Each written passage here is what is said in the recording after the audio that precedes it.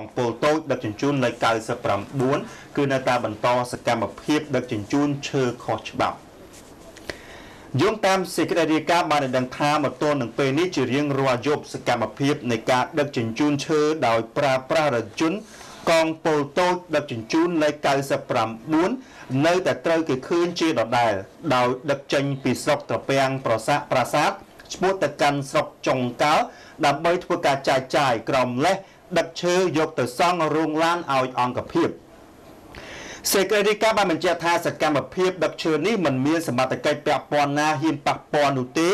បើទោះបីជាការដឹកឈើដើម្បីសង់រោងឡានមានទំហំ8ម៉ែត្រគុណនឹង35ម៉ែត្រនេះមានរយៈពេលជាច្រើនឆ្នាំហើយក្តីលោកឧត្តមស្នេហ៍មានសម្បត្តិមេបញ្ជាការរងនៃកងពលតូចដឹកជញ្ជូនលេខ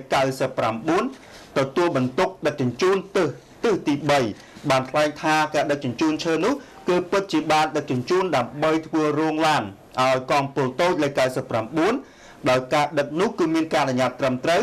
តាំងពីរដ្ឋបាលប្រៃឈើរហូតដល់មានការសម្រេចពីលោកអភិបាលខេត្តឧត្តរមានជ័យ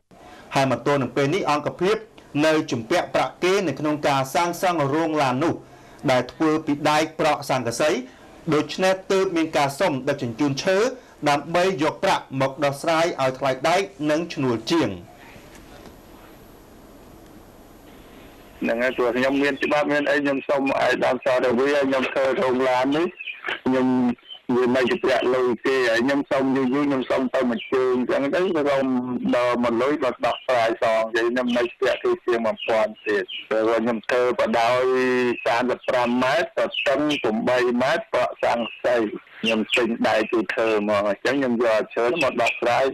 ឲ្យថ្លៃដែរថ្លៃសាំងសីនឹងឈ្នួលជាង5600អញ្ចឹងខ្ញុំសងគេបានបដាបដាដល់សល់